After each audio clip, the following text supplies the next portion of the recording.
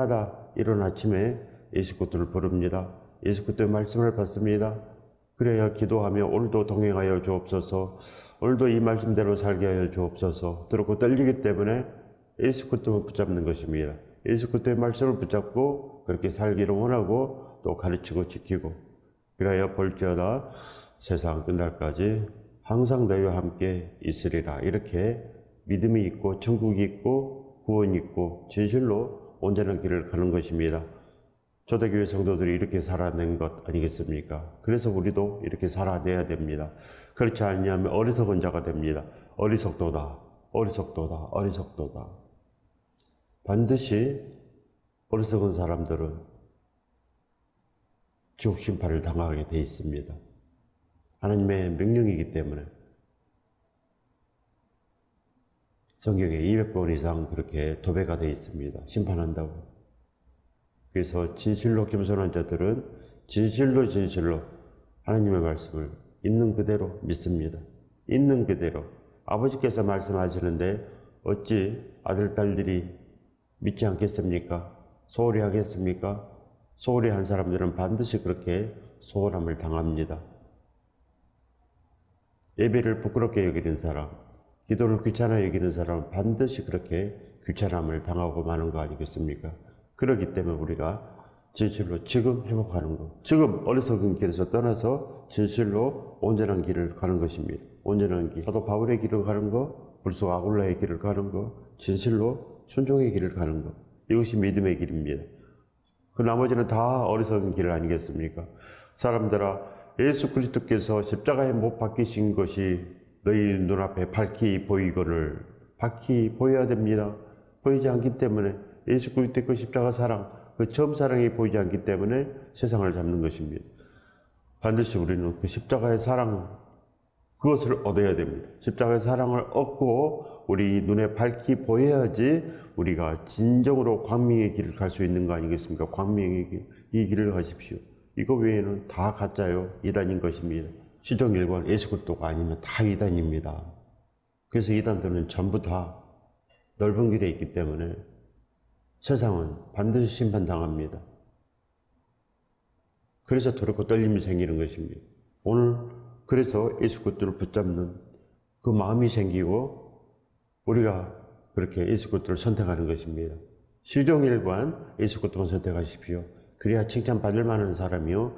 그래야 십자가에 다시 사는 삶, 진정으로 그렇게 얹혀서 아름다운 지혜를 얻는 것입니다. 이 복을 받으시길 예수 그리스도 이름으로 축원드립니다. 축복합니다. 이렇게 예수 그리스도만 기뻐야지 믿음이 되고 그래야 예수 그리스도의 말씀이 우리를 보호하는 전신갑주가 됩니다. 그래야 성령이 검이 되고 구원의 투구가 되는 것. 진정으로 이 모든 것은 다 순종에 있습니다. 예수 그리스도께 얼마나 순종하냐. 거기에서 우리가 지혜를 얻고 참 진리를 얻고 가르침을 얻고 진실로 진실로 회복이 되는 것. 복을 가르쳐 주시는 것입니다. 바로 예수 그리스도께서 우리의 복이시요, 우리의 길이시요, 진리시요, 우리의 천국이시기 때문에 예수 그리스도께서만 우리에게 온전한 복을 가르쳐 주십니다. 예수 그리스도만 복이 되기 때문에 세상을 멀리 하십시오. 그래야 되는 것입니다. 전부 다 구해야 됩니다. 모든 것을 구해야 됩니다. 바로 진실로 하나님께서 구하라 하심으로 모든 것을 구해야 받는 우리가 되어야 됩니다. 기도부터 순종해야지. 기도를 순종하지 아니하면 절대 안 됩니다. 즉 예수 그리스도를 구하는 것입니다.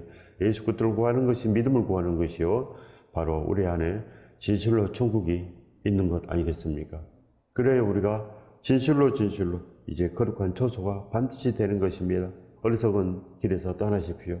십자가에 못 박히신 것 반드시 이 사실을 우리가 깨달아 알고 눈으로 보고 만지고 그렇게 나아가는 것 그 사랑 어찌 잊으리요? 그렇게 나가야지 우리가 이 세상에서 놓이지 아니하고 오직 천국에 놓이며 복의 길에 서는 것입니다. 이렇게 축복의 길에 우리가 서기 위해서 이 땅에 온 것입니다. 우리가 축복받기 위해서 온 것이지. 그러지 않으면 저주 길에 있는 것입니다. 이걸 반드시 아는 것이 믿음입니다. 예수 그리스도 외에는 다 저주입니다. 그래서 반드시 예수 그리스도의 그 손을 잡고 십자가에 못 박히신 것 우리가 똑똑히 바라보고 우리가 나가는 것 그것이 우리가 거룩한 표대입니다. 사도 바울도 그것을 바라봐서 살아난 것입니다. 예수께 붙잡힌 그 사명을 잡고 사는 것입니다. 예수께 붙잡힌 것은 바로 그 십자가의 사랑에 우리가 붙잡혀서 그 감동으로 일생을 그렇게 십자가로 살아내는 것. 이것이 바로 십자가를 지는 것 아니겠습니까? 반드시 우리가 이렇게 십자가를 져야 됩니다. 예수 그리스도께서 우리를 얻기 위해서, 나를 얻기 위해서 십자가를 지신 것입니다. 내가 널 위해서 십자가를 졌노라. 바로 이겁니다. 내가 널 위해서 십자가를 졌노라. 이 사실을 아는 것이 바로 십자가를 보는 것입니다. 예수 그리스도께서 그 누구도 아니고 우리를 살리기 위해서, 나를 살리기 위해서 소래발에 구멍이 뚫리고 이 모든 것을 다 주신 것. 그 사랑을 다 베풀어 주신 것입니다. 전부를 주신 것입니다. 그렇게, 그렇게 우리를 절실하게 모든 것 다해서 사랑해 주신 그 은혜. 어찌 갚으리요? 이런 마음이 들어가야 됩니다. 이것이 바로 진실로 진실로 목적이 바뀌는 삶입니다. 예수 그리스도께 우리 모든 마음이 다 있는 것.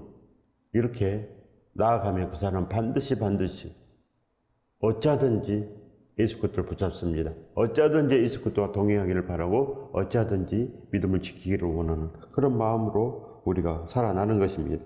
예수 그리스도의 그 말씀을 실행해야 죄가 사해집니다. 실행하는 것, 그 실행의 믿음이 됩니다. 진짜 믿음이 된다는 것입니다. 그래서 진실로 진실로 사도행전의 그 믿음이 우리에게도 있어야 됩니다. 사도행전의 믿음이 가짜입니까? 그들은 진짜입니다. 절대로 그들은 예수 그리스도를 배반하지 않는 그런 믿음인 것입니다. 진실로 예수 그리스도와 함께 다녀야지 옷이 깨끗하게 됩니다. 그렇지 않으면 어리석은 자, 세상에 되고 마는 것 아니겠습니까? 십자가 안에 반드시 복이 있습니다. 십자가에 붙잡혀 살면 달라집니다. 더 이상 유대교 같은 종교에서 떠나 그리스도의 사람들로 다시 태어나야 됩니다. 구약에서 떠나 신약에서 살아야 됩니다. 기복에서 떠나 진실로 행동하는 믿음의 역사가 우리 안에서 펼쳐져야 됩니다. 이것이 복입니다.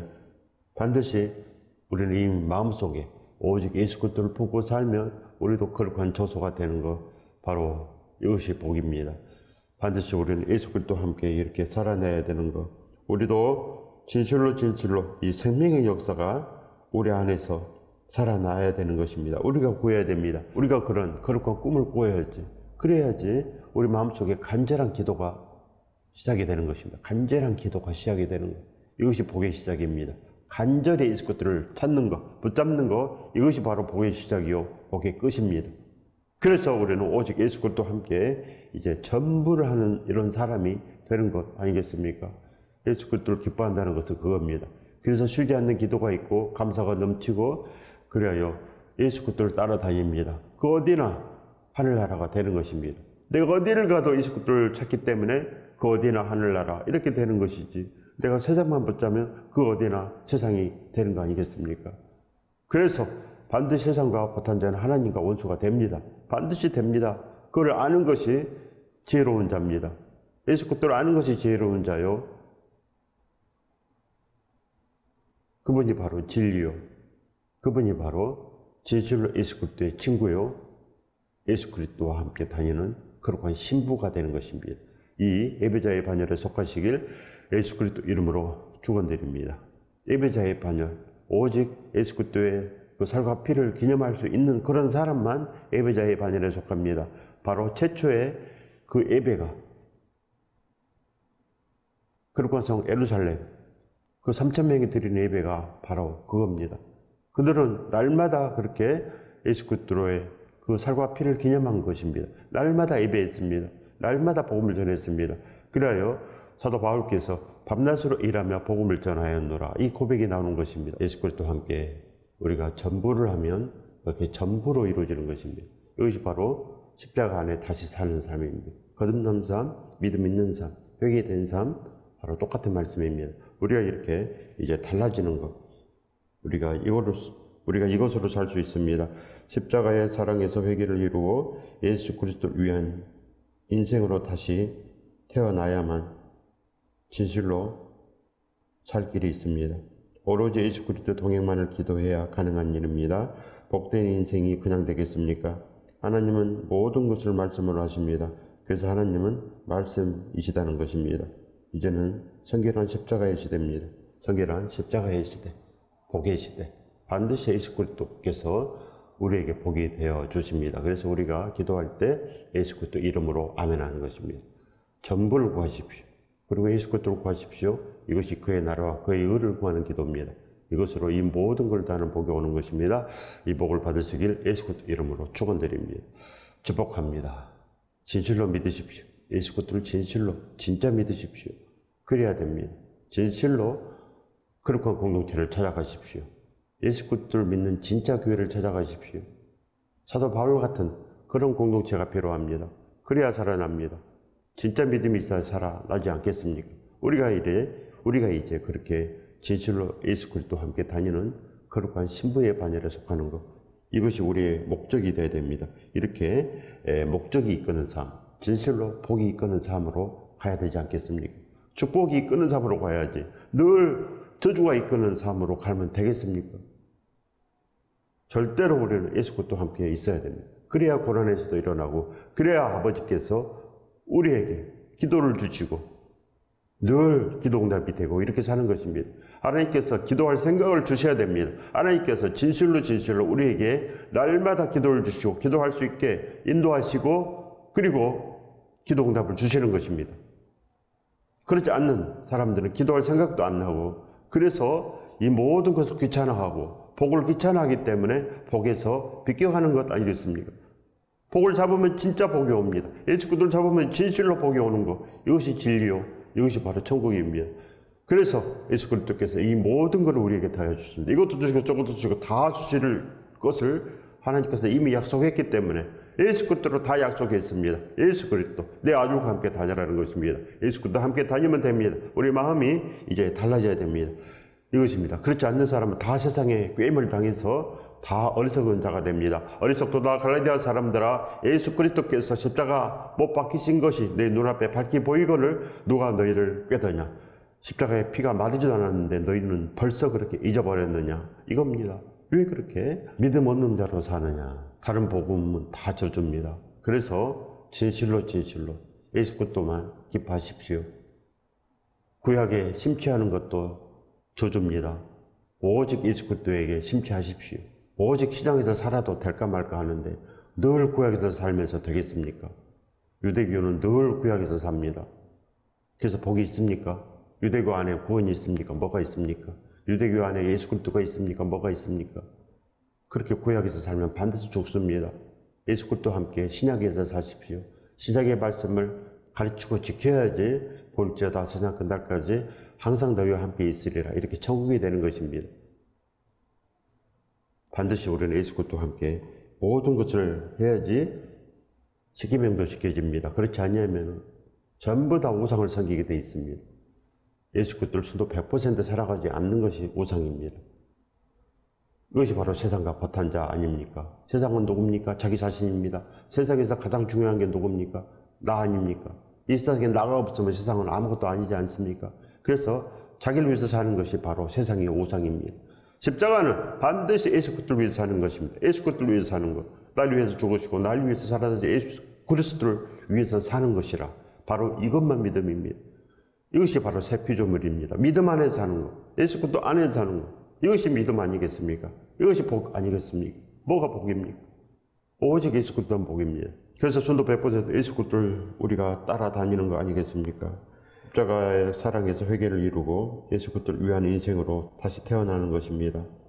로마서 10장 10절의 말씀입니다.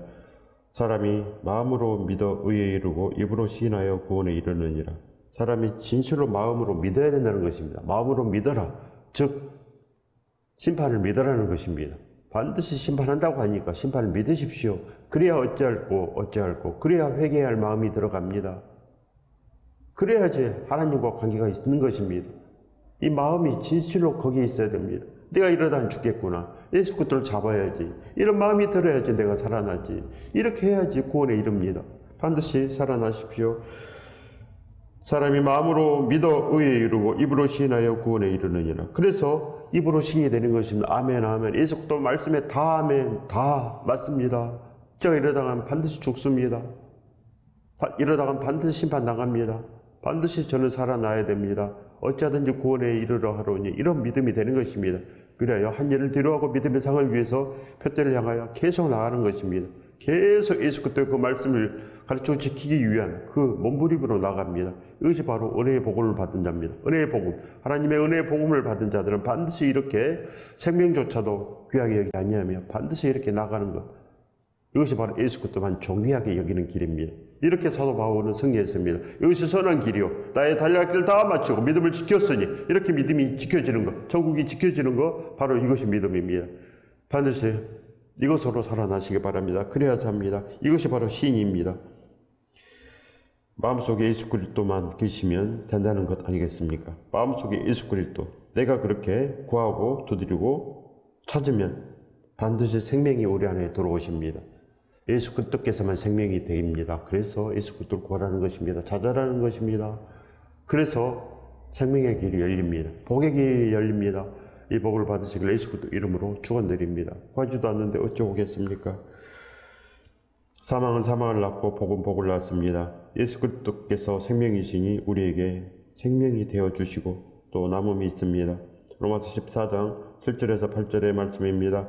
우리 중에 누구든지 자기를 위하여 사는 자도 없고 자기를 위하여 죽는 자도 없도다. 우리가 살아도 주를 위해서 살고 죽어도 주를 위해서 죽나니 그러므로 사나 죽으나 우리가 주의 것이로다. 바로 우리 중에 즉 사도 바울의 공동체 거룩한 초대교회들은 자기 자신을 위해서 사는 자가 없었습니다. 자기 자신을 위해서 사는 것은 아무것도 아니기 때문에 즉 예수 것들을 위해서 사는 것이 십자가요 믿음이기 때문에 반드시 그들은 온전했습니다. 그래야 그들은 진실로 누구든지 자기를 위해서 사는 자가 없고 누구든지 자기를 위해서 사는 자가 없고 자기를 위해서 죽는 자도 없더라. 자기 자신을 위해서 죽는 자도 없고 사는 자도 없습니다. 자기 자신의 영광을 위해서 죽은 자들은 반드시 순교가 아닙니다. 그래서 예수 그리스도를 믿는 사람, 예수 그리스도 동행한 사람이 죽으면 순교지 그렇지 않는 사람은 자기 자신을 위해서만 살았기 때문에 예수를 위한 삶이 없었기 때문에 그렇게 겉만 삶이 없었기 때문에 그 사람이 죽어도 그냥 사망이 되는 것입니다.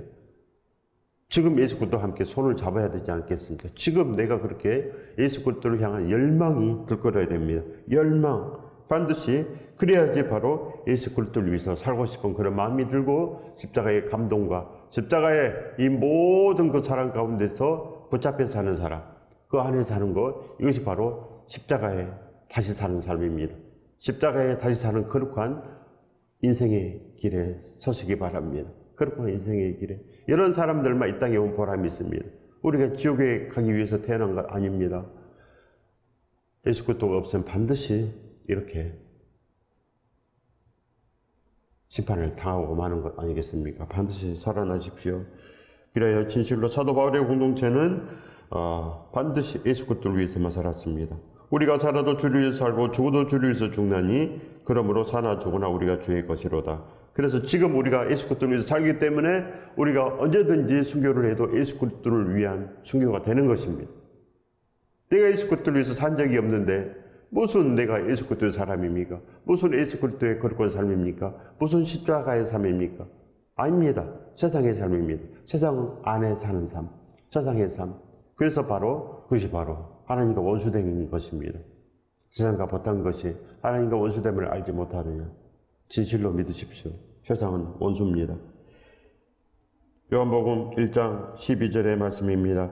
영접하는 자, 곧 그 이름을 믿는 자들에게는 하나님의 자녀가 되는 권세를 주셨으니, 영접하는 자, 날마다 날마다 시종일관, 시시각각 예수 그리스도를 영접하고 예수 그리스도를 모셔드리는 자가 바로 진짜 믿음 있는 자입니다.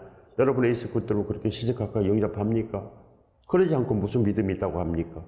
예수 그리스도를 그렇게 진실로 시시각각 영접하고 그렇게 기뻐하며 찾는 자, 그들은 십자가의 감사가 넘치고 그 감동으로 사는 자입니다. 그 감동으로 십자가의 감격이 넘치니까 예수 그리스도를 위해서 살고 싶은 마음으로 들끓습니다. 예수 그리스도를 위한 삶, 예수 그리스도와 함께 나아가고 싶고 그렇게 예수 그리스도가 그립고 그렇게 예수 그리스도께서 우리 안에 그렇게 살아계시는 것입니다.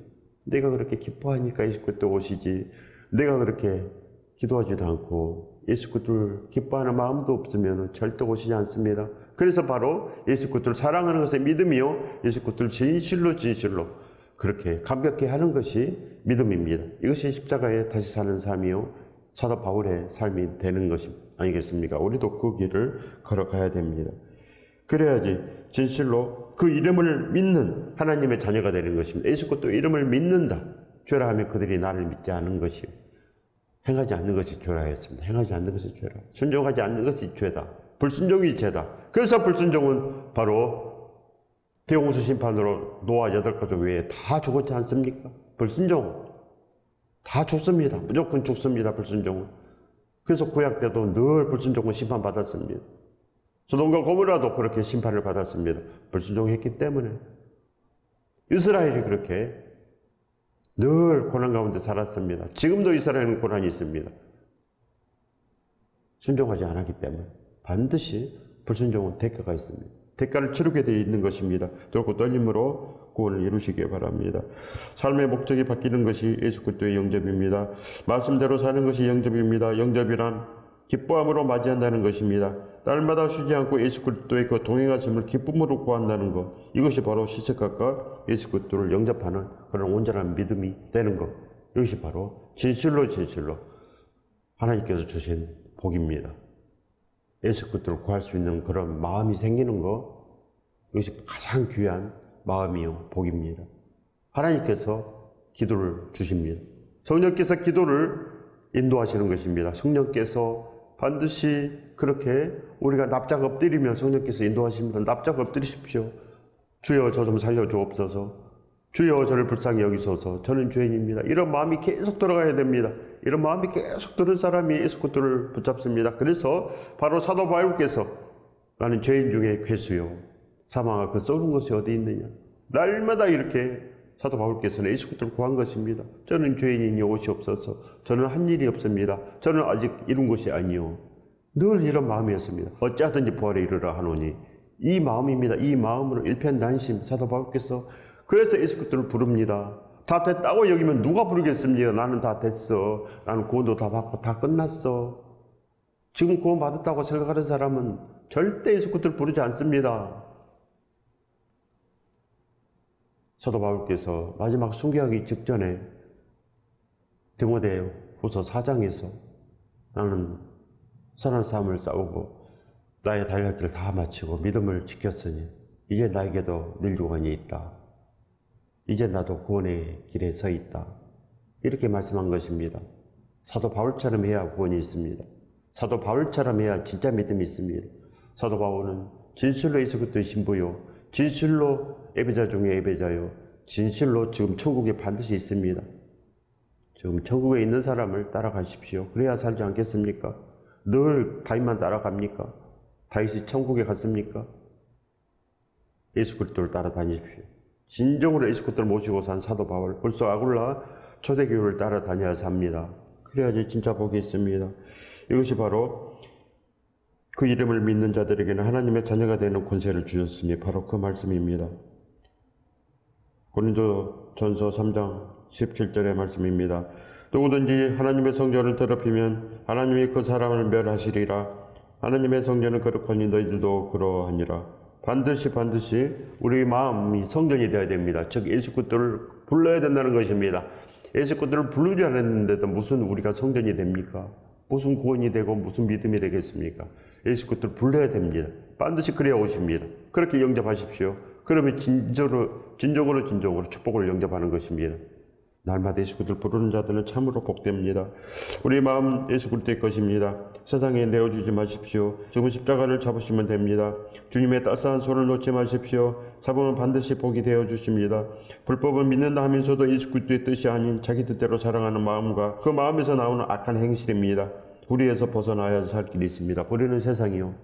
자기를 따르는 것입니다. 반드시 예수 그리스도를 따라야지 그것이 선한 길입니다. 순종의 길입니다. 그러지 않으면 다 불법의 길이요. 불순종의 길이요. 이렇게 저주의 길입니다.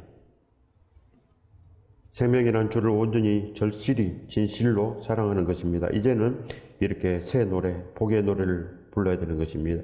이제는 생명의 마음을 반드시 가져야 됩니다. 이제는 진정으로 예수 그리스도를 위해 살고 싶은 그 마음을 소유하는 것입니다. 이 복을 받으시길 예수 그리스도 이름으로 축원드립니다. 축복합니다. 예수 그리스도를 소유하는 것, 소유를 해야지. 천국이 침노됩니다. 내가 그렇게 적극적으로 잡아야 되는 것입니다. 적극적으로. 반드시 죽기 살기로 잡는 것이 믿음이지 잡아도 되고 아니도 되고 오늘 잊어버리고 내일도 잊어버리고 그저 세상만 좋아서 날마다 세상으로 가는 사람 절대 안 됩니다. 죽고 살기 세상만 잡는 사람 안 됩니다. 우리는 반드시 예수 그리스도만 붙잡는 축복의 사람이 되어야 됩니다. 에베소서 2장 22절의 말씀입니다. 너희도 성령 안에서 하나님의 것을 처소가 되기 위하여 그리스도 예수 안에서 함께 지어져 가느니라. 바로 바로 처소가 되기 위해서 이렇게 날마다 예수 그리스도를 따라다니는 거 이겁니다. 그리고 처소가 되기 위해서 바로 어찌하든지 부활에 이르려 하노니 예수 그리스도처럼 부활에 이르려면 반드시 그렇게 돼야 됩니다. 이 안에 속하시기 바랍니다. 그래야 살아납니다. 예수 그리스도를 믿으면 알게 됩니다. 불가능한 일이 가능한 일이 되고 어떤 삶이 빛으로 빛이 납니다. 매일 주님을 바라고 구하고 우리가 그렇게 찾아서 말씀으로 준행하면 예수 그리스도께서 우리에게 머물러 힘이 되어 주시고 복이 되어 주십니다. 이렇게 우리는 진실로 이 모든 걸 다하여 이렇게 살아낼 수 있는 것입니다. 이 복을 받으시길 예수 그리스도 이름으로 축원드립니다. 축복합니다.